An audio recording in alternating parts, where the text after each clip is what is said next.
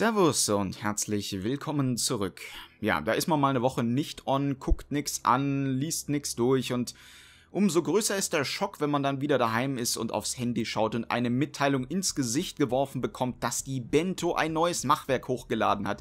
Wisst ihr, die Bento war ja schon lange fällig. Die hatte ich ja schon lange auf dem Zettel, aber irgendwie ist immer wieder mal was dazwischen gekommen oder andere haben ihren Bullshit fabriziert und so ist das dann in meiner Prioritätenliste immer weiter unten abgerutscht, denn äh, eigentlich ist natürlich Bento inhaltlich eine extrem tief hängende Frucht, aber wisst ihr, es macht manchmal auch einfach Spaß, sich an solchen ja, schon leicht angegammelten Früchten zu ergötzen, in dem Wissen, dass man daraus wenigstens noch einen vernünftigen Schnaps machen kann.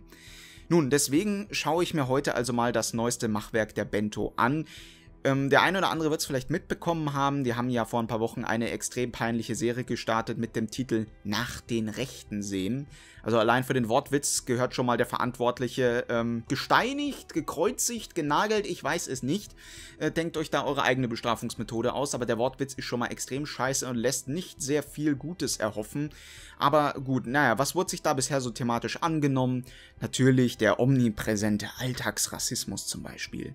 Ähm, was jetzt aber auch ganz wichtig ist, ist natürlich, ja, was macht man jetzt, wenn man Leute in der Familie hat, die eine andere Meinung haben als man selber? Ne? Also das ist ja ganz stressig und ganz störend, wenn man ähm, dann so als linksgrün äh, versifftes äh, Hippie-Ökomädel von der Freiburger Uni nach Hause kommt und ähm, die Eltern sind da möglicherweise konservative oder gar tatsächlich rechts, also im klassischen Sinne mh, hm, unangenehm, ja. Und ähm, deswegen möchten wir uns heute mal dieses Machwerk uns reinziehen. Ich will gar nicht zu sehr im Vorfeld schon alles vorwegnehmen, deswegen ich werde einfach wieder in typischer Manier stoppen und ab und zu mal meine Meinung abgeben. Und äh, das Original findet ihr natürlich in der Videobeschreibung. Das Ganze geht etwas über 10 Minuten.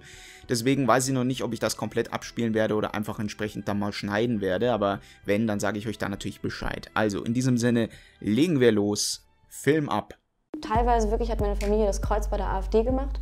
Das war also so, wow, das habt ihr nicht. So, ich dachte, ihr seid vernünftig. Weil sie diese Meinung haben, heißt es ja nicht, dass ich sie weniger lieb habe. Das sind ja trotzdem Menschen, die mich mein Leben lang begleitet haben. Klar, natürlich, das sind ganz liebe Menschen, vor allem solange sie einem möglicherweise noch das Studium oder die Ausbildung finanzieren. Ich meine, dafür sind diese Menschen immer gut.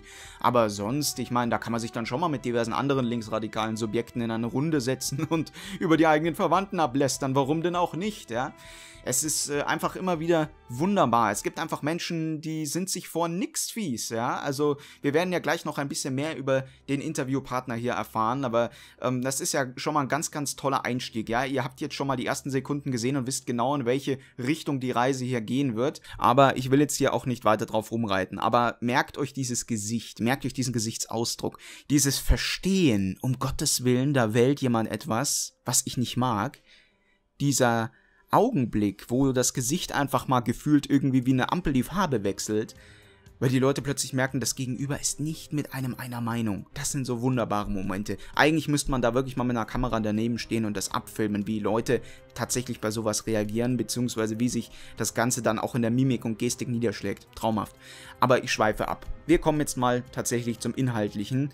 Das Intro überspringe ich an dieser Stelle, weil äh, das hat man bei den anderen Videos genauso gesehen. In diesem Sinne gehen wir mal tatsächlich zum ersten inhaltlichen Punkt. Man kann versuchen, Menschen mit rechtem Gedankengut aus dem Weg zu gehen und sie zu meiden. Doch was passiert, wenn die Menschen, von denen man sich nicht einfach so abwenden kann und will, rechts werden? Was das mit Menschen und Familien macht, wollten wir von euch wissen. Wir haben sehr viele Rückmeldungen bekommen. Viele berichteten von Äußerungen durch Großeltern, Eltern und Geschwistern, die sie erschrecken und von schier aussichtslosen Diskussionen auf Familienfeiern. Aber auch von rechtsradikalen Geschwistern, die für Gewalttaten verurteilt worden sind und davon, dass die Angst um die eigene Sicherheit doch zu groß ist, um ein Interview zu geben. Die gute alte Verrühre- und Herrscheschiene. Wundervoll. Zuerst wird über aussichtslose Diskussionen auf Familienfeiern gesprochen. Das ist ein Phänomen übrigens, das gibt es in allen politischen Lagern. Und ich glaube, es gibt auch viele Patrioten, die linke Eltern oder Großeltern haben, mit denen bei gewissen Themen einfach nicht zu reden ist. Das ist nun mal so. Das sind Probleme, auf die man immer stoßen kann. Eigentlich völlig wurscht, welche politische Ansicht man vertritt. Aber das reicht ja nicht. Da hätten wir ja kein wirkliches Framing drin. Deswegen müssen wir nachher noch unbedingt die rechtsradikalen Geschwister einschleusen, ähm, das Ganze quasi direkt miteinander zu verquicken, also diverse ähm, Diskussionen auf Familienfeiern zu verquicken mit rechtsradikalen Elementen, äh, mindestens mal manipulativ, ungeschickt, wenn nicht sogar tatsächlich manipulativ bösartig. Gut, aber jetzt kommen wir mal zum Interviewpartner. Wer ist denn das überhaupt, dieses junge Mädchen, das wir schon vorhin gesehen haben? Ich spreche heute mit Janine darüber, was die Aussagen ihrer Verwandten mit ihr machen und wie sie damit umgeht. Hi, ich bin Janine, 25 Jahre alt und habe bisher beim Radio gearbeitet. Teilweise wirklich hat meine Familie das Kreuz bei der AfD gemacht, was ich damals nicht wusste. Äh, als die äh, Wahl 2017 war, das war echt heftig. Ich habe nicht mehr in meiner Heimatstadt gelebt und dann bin ich ein paar Monate später hin und hatte halt gesagt, wie schrecklich ich das Ergebnis fand und so. Und dann kam erst raus, dass echt diejenigen, die halt zur Wahl gegangen sind, tatsächlich das Kreuz da gemacht. Das war also so, wow, das habt ihr nicht. So, ich dachte, ihr seid vernünftig. Und dann kam nur so ein, ja, ja, wir wollten mal einen Denkzettel verpassen. So, und aus diesem Denkzettel sind dann am Ende 13 Prozent geworden. Da hat jemand offensichtlich das Konzept eines Denkzettels nicht kapiert. Ein Denkzettel muss eine Spur hinterlassen. Man muss sich ja was merken, man soll ja was draus lernen. Ich meine, in deinem Umfeld waren das wohl die klassischen Protestwähler. Und das ist völlig okay. Jeder hat ein gewisses Motiv, warum er eine Partei wählt, beziehungsweise warum er eine Partei vielleicht nicht mehr wählt. Ja, das ist vollkommen legitim. Diesen Leuten ihre Vernunftbegabung abzusprechen, ja, hier von wegen, oh, ich dachte, ihr seid vernünftig, ist zutiefst antidemokratisch. Das ist absolut ekelhaft. Ich kann diese moralisch überlegene Haltung von diesen Leuten überhaupt nicht ertragen, die so etwas sagen.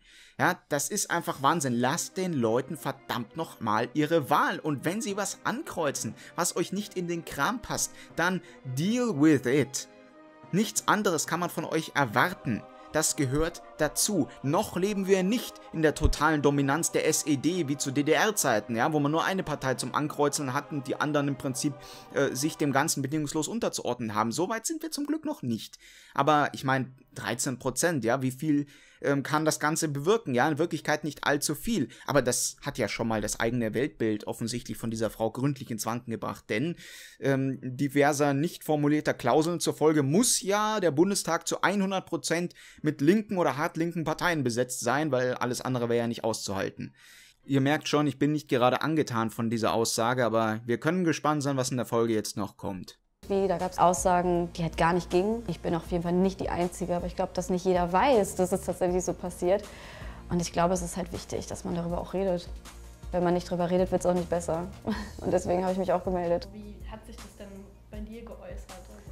Also es fing tatsächlich so an mit, so einer, mit der obligatorischen Flüchtlingskrise. Ach Mensch, was, was wollen die denn hier überhaupt und so. Ist dann auch irgendwann so was viel wie, ja, also Hitler wird sich jetzt ja auch im Grabe umdrehen. Irgendwann hat es ein Ausmaß angenommen, wo ich dann gedacht habe, wow, wann ist das passiert? Das ist, schon, das ist schon krass. Wenn du das erste Mal vom Tisch aufstehst, dann wird dir das erstmal so richtig bewusst und du gehst einfach. Auf einem Kindergeburtstag. oh, wundervoll, natürlich. Der obligatorische Hitler-Vergleich ähm, der inhaltlich für uns jetzt absolut wertlos ist, denn wir kennen den Kontext nicht, in dem diese Aussage getätigt wurde. Wir wissen auch gar nicht, ob diese Aussage überhaupt so getätigt wurde. Wir können das jetzt alles glauben oder auch nicht. Aber den wolltet ihr unbedingt drin haben, gell, liebe Bento-Redaktion? Der war euch sogar so wichtig, dieser Satz, dass ihr den in den verdammten Titel reingeschrieben habt. Ja, wunderbar keine Bento-Folge ohne irgendeine Hitler-Anspielung oder irgendeinen Hitler-Vergleich oder sonstiges, was sich in irgendeiner Weise auf Hitler bezieht. Man könnte fast meinen, ihr seid besessen von diesem Mann. Also wundervoll. Ich bin ja jetzt wirklich ähm, sehr, sehr erheitert, so nachdem ich jetzt so mal die ersten Aussagen von ihr mir angeguckt habe. Und äh, jetzt vor allem am Ende, ja, die steht da auf, ne, auf so einem Kindergeburtstag, weil, ja, so ganz, ganz böse Menschen, ne. Also wir werden jetzt in der Folge gleich sehen, was sie tatsächlich zu diesem Schritt bewegt hat, aber das ist das grundsätzliche Problem der Linken da draußen. Die chronische Unfähigkeit, Diskussionen auch über einen Grad hinaus zu führen, an dem beide Parteien eigentlich am liebsten vom Tisch aufstehen würden, weil sie es schier nicht mehr aushalten. Das gehört aber dazu, zu einer Gesprächskultur, dann eben trotzdem mal drei Meter an den eigenen Geduldsfaden dran zu hängen und dann das Gespräch in die nächste Runde überzuleiten. Und wenn man dann ein paar Stunden diskutiert hat und immer noch nicht auf den grünen Zweig gekommen ist, das kann ja im Rahmen einer Familienfeier durchaus mal vorkommen, dann gehen beide Parteien ins Bett haben sich zwar nicht gegenseitig überzeugt und äh, werden ihre Meinung vermutlich auch nicht unbedingt ändern, aber sie haben sich zumindest mal die Gegenseite angehört und wissen, worum es der Gegenseite entsprechend geht.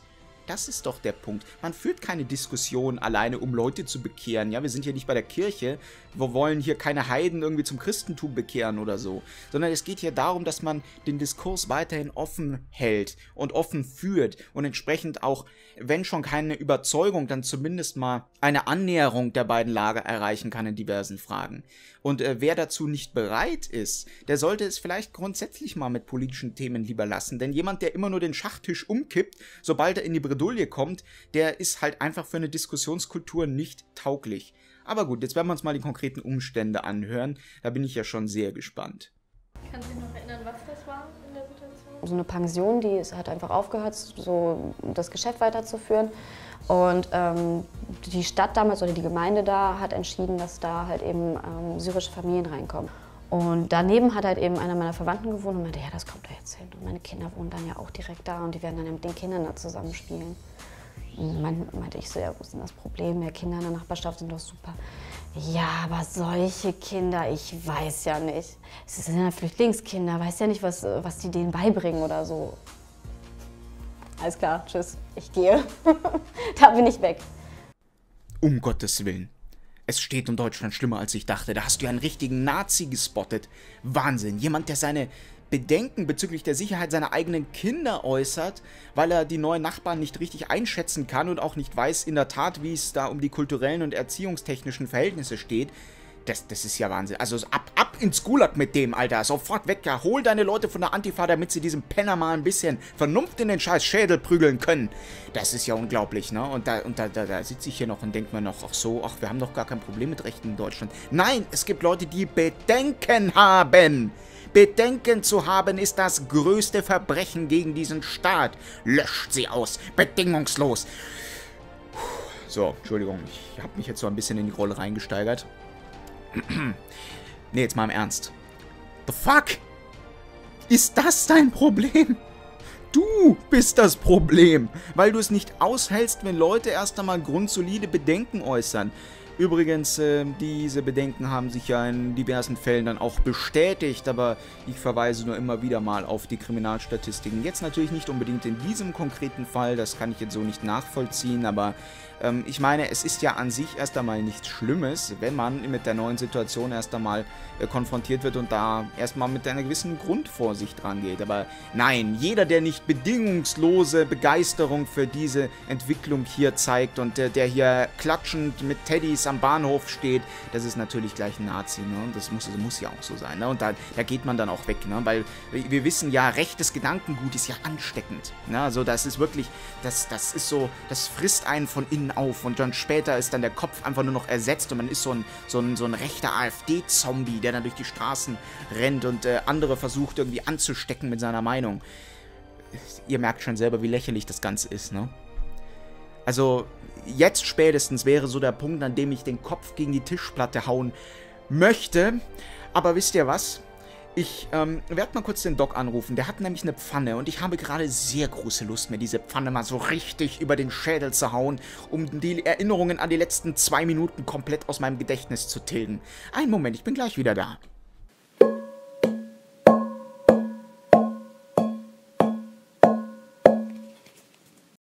So, äh, da bin ich wieder. Ich weiß jetzt zwar nicht, was passiert ist, aber ich habe jetzt eine Beule und eine kaputte Pfanne in meinem Haus. Also, ähm, ich weiß nicht, irgendwie kommt mir die Pfanne bekannt vor. Ich weiß nicht, wem die gehört, aber der Besitzer wird sich bestimmt melden, wenn es nicht ich selber bin. Äh, ich be besorge im Zweifel eine neue. Also, egal. Äh, wo, wo waren wir stehen geblieben? Irgendwas mit Be ben Bento. Mit Minute 4. Ach was, nein. Äh, wir haben ja noch 6 Minuten. Ach du liebe Zeit. Okay, vielleicht wird mein Pfannenverbrauch heute ein bisschen höher. Gut, äh, wir machen jetzt einfach weiter. Das äh, lasst euch da gar nicht verunsichern. Wir, wir gucken uns den Rest jetzt an. Es ist deprimierend. Als junger Mensch, wo du so dieses Konstrukt von Familie eigentlich hast, ja, das ist irgendwie, irgendwie ein bisschen weg. Denkt immer irgendwie so die Familie, das ist ein sicherer Hafen, das ist eine Gruppe von Menschen, die eigentlich immer, immer nett und lieb ist und vielleicht auch immer was Gutes will. Und auf einmal merkt man so mit solchen Aussagen, okay, die wünschen anderen Menschen was Schlechtes, die wirklich nichts dafür können. Und dann ist es halt echt traurig, weil ich einfach nicht verstehe, warum sie so, warum sie so viel Hass gegen etwas haben was sie vielleicht auch selber sogar kennen. Das sind äh, Menschen, die halt mal in Russland gelebt haben oder in der ehemaligen Sowjetunion und äh, ja, Ende der 80er, Anfang der 90er selbst mal hier als Fremde tatsächlich hingekommen sind. Was? Du bist gegen Feminismus, aber du bist doch eine Frau. Was? Du bist gegen Body Positivity, aber du bist doch übergewichtig. Was? Du bist konservativ, aber du bist doch noch so jung. Was? Du bist gegen offene Grenzen, aber du bist doch Migrant. Vielen Dank, Astudemi. Genau das ist mir nämlich auch gerade durch den Kopf geschossen, wie die Kugel aus der PPK, die sich Hitler an den Schädel gehalten hat, als er seine Gasrechnung gesehen hat. Und an die ganzen Humorbehinderten, Schrägstrich Asperger-Patienten, Schrägstrich linksregressive Vollidioten da draußen. Das war ein Witz. Schrägstrich nicht ernst gemeint. Schrägstrich geh dich bitte in die Ecke stellen zum Schämen, solltest du diesen Witz nicht verstanden haben oder ihn etwa auf moralische Integrität überprüft und nicht als tauglich befunden haben.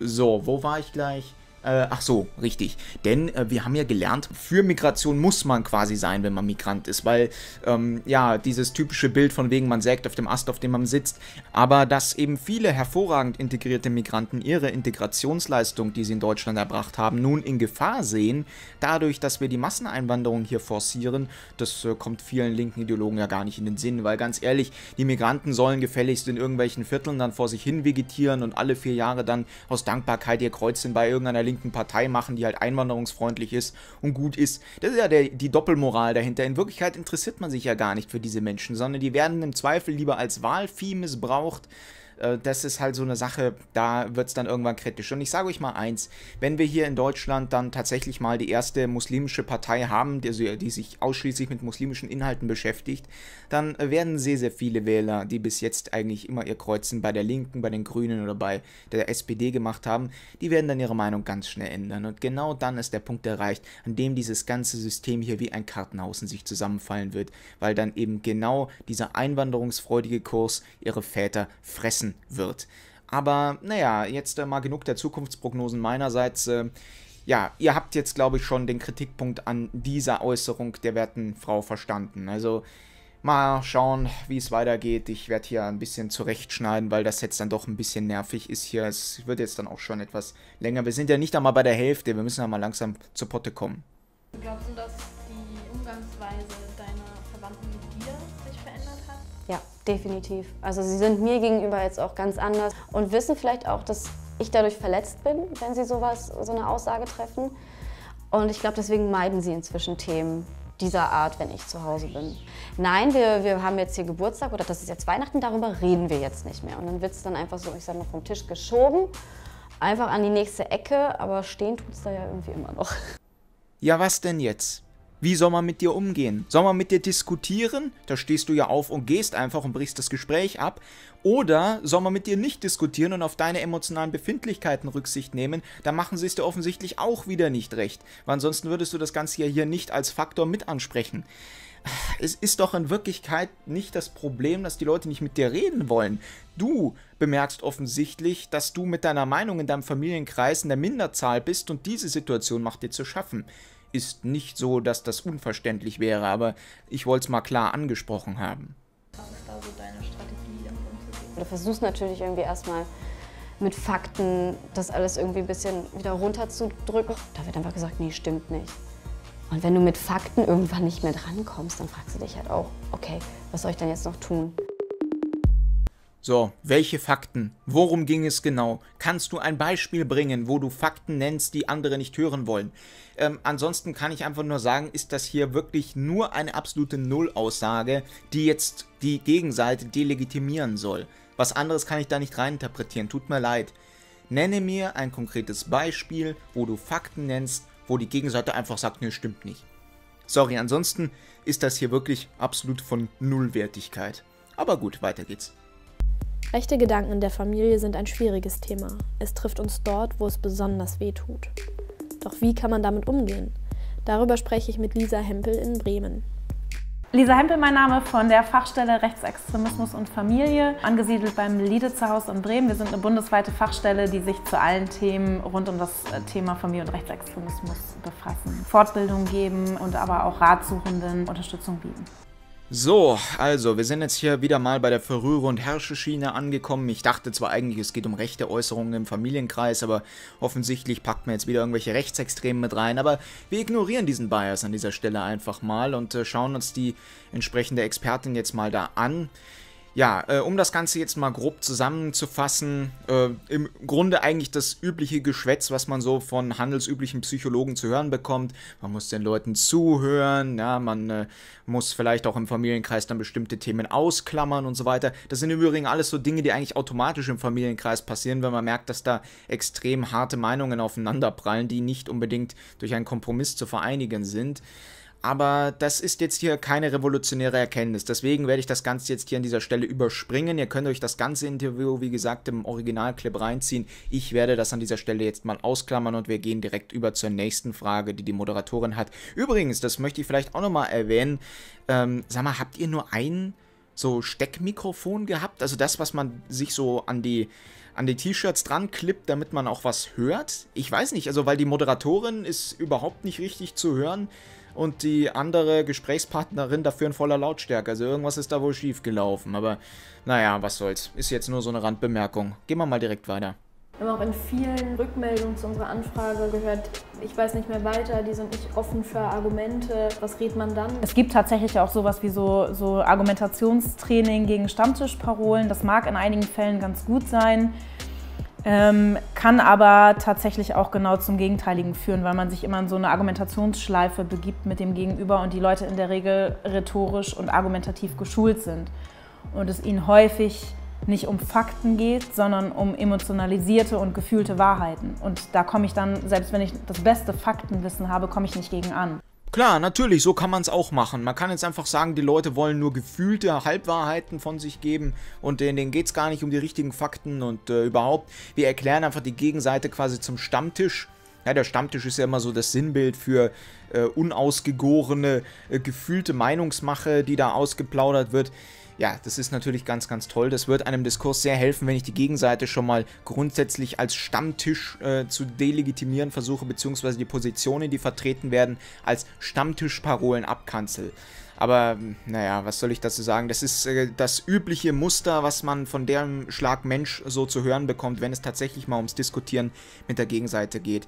Äh, aber interessant, also sie weiß offensichtlich auch nicht so ganz, was sie will. Also entweder sind das stumpfe Stammtischparolen, die da geäußert werden, oder die Leute sind tatsächlich argumentativ geschult und haben gar keine so schlechten Argumente, aber naja, man äh, weiß ja eben nie, auf wen man so trifft. Ja, aber das ist eben typisch hier wieder, ähm, will man mit den Leuten argumentieren oder will man es sein lassen? Naja, man sollte es tun. Man sollte in jedem Fall mit jedem sich argumentativ messen. Und wenn jemand tatsächlich rhetorisch und argumentativ geschult ist, dann äh, kann man da auch entsprechend die Diskussion gewinnen. Und nein, es geht nicht darum, dass da immer Halbwahrheiten oder gefühlte Wahrheiten im Spiel sind, sondern es geht auch oftmals um die Interpretation der Fakten. Ja? Es geht auch ums Menschenbild, was da dem Ganzen zugrunde liegt. Jetzt ohne hier da tatsächlich mal direkt ins Detail gehen zu wollen, aber ich glaube, ihr versteht schon, worauf ich hinaus möchte.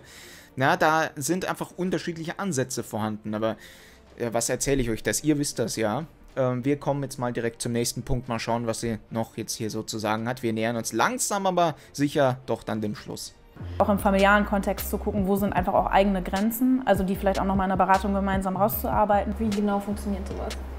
Genau, es kann manchmal ein sehr ähm, schmerzvoller Prozess auch sein, weil grundsätzlich sich mit diesem Thema Rechtsextremismus zu beschäftigen, hat halt auch sehr viel mit, mit einem selber zu tun und der Frage, wie wie, ja, wie stehe ich eigentlich zu diesem Thema, wie stehe ich irgendwie zu, zu Demokratie, zu Menschenrechten, ähm, zu einem gleichberechtigten Miteinander. Ich würde sagen, ja, man muss darüber reden und man muss sozusagen auch eine klare Haltung zu dem Thema haben. Das ist nicht einfach was nice to have, sondern das ist auch tatsächlich die Frage von, wir leben in einer Demokratie, da selber sehr klar auch zu sein und sehr klar auch Rassismus als das zu benennen, was es ist.